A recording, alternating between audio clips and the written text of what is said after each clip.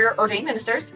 Um, and so on top of um, just helping to spiritually disciple the public and our congregation, we help serve the public. Part of our job is to go before people and get out there and be the face or the smile. Your face and your smile is the face and the smile of the Salvation Army wherever you're at. I had a resistance to no Novocaine. And so um, just traumatic, like dental anxiety.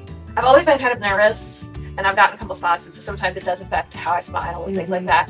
And I mean, I love to smile, and that's one of the lot of things people notice first about me. That's what I fell in love with first. and so I'm kind of just looking forward to not having to be as self-conscious. We went through a list of red flags that all the way back from when I was a child, and I hit a lot of them. And I was like, "You're the first dentist that has ever even asked me if I've ever had any of these issues." And this was the first time someone's like, "Life." It was just refreshing, and honestly, it was a load off. Okay, it's been great. I mean, it's the same smile that I've looked at for 40 years, but it's a little different for a girl who had no enamel. I look now and I go, this is what I've always wanted. I like looking at them. Dentistry can be so intimidating. And I mean, it's shaming. That's the one thing I loved about here.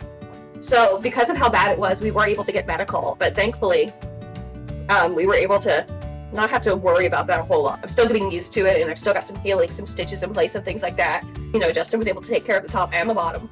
You know, he fixed the bottom teeth however he could. And of course my tops are completely new. And so it's so much better to just go ahead and do it. You put it off and you put it off and do it. You're equipped for success. I mean, you can tell that you guys are invested in our success as well.